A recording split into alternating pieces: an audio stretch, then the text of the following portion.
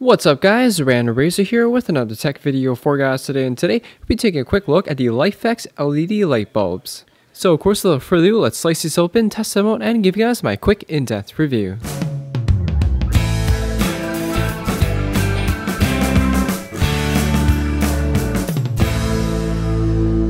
So for those of you wondering why am I reviewing LED light bulbs, well basically for those of you who heard of the Philips Hues that were sold at the Apple store for a little while, not sure if they're still being uh, sold there, uh, these are another option that you can get for color changing LED bulbs. This is the BR30 model from LIFX with the Color 1000 series capability. So unlike the changing whites that the other model has, this one you can change through all different colors. The bulbs themselves are a 70 watt equivalent with a 970 lumen brightness. Each bulb comes in your standard LIFX cardboard packaging here. There's a little tab on the bottom here that pops open like so, which reveals another piece of packaging.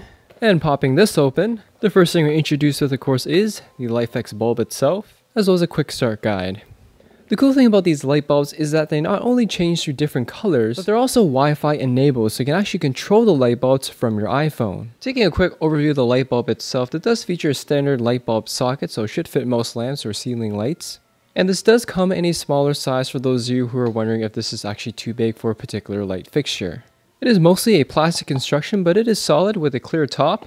And as I mentioned, the lumens on this light bulb is 970, which is pretty bright, especially for something that's LED. Anyways, without further ado, let's slap these in a couple of lamps and see what they're like. Alright, so here's a quick demonstration of the LIFX LED bulbs. Now right now we're set at a kind of normal warm white setting for a typical bedroom setup. And as you guys saw earlier, we can use this dial here to turn the warm, warm white into a much more cooler white, which is pretty cool. So this is all the way up until a 9000K blue ice white, and the brightness is at 100%. You can also adjust the brightness, so if you want to decrease it, using the middle dial here and or increase it. The great thing about this model here is that you can also control different colors. So if we turn the color wheel here, we're at a bit of an orange or kind of reddish color. Turn it to purple, blue, green, yellow, and back to red. And of course you can also adjust the brightness again as well. We also have different themes that are preset by the app itself. For example, Halloween. Uh, this one is called Energizing, Relaxing, Soothing. This one is Tranquil, Exciting, Cheerful.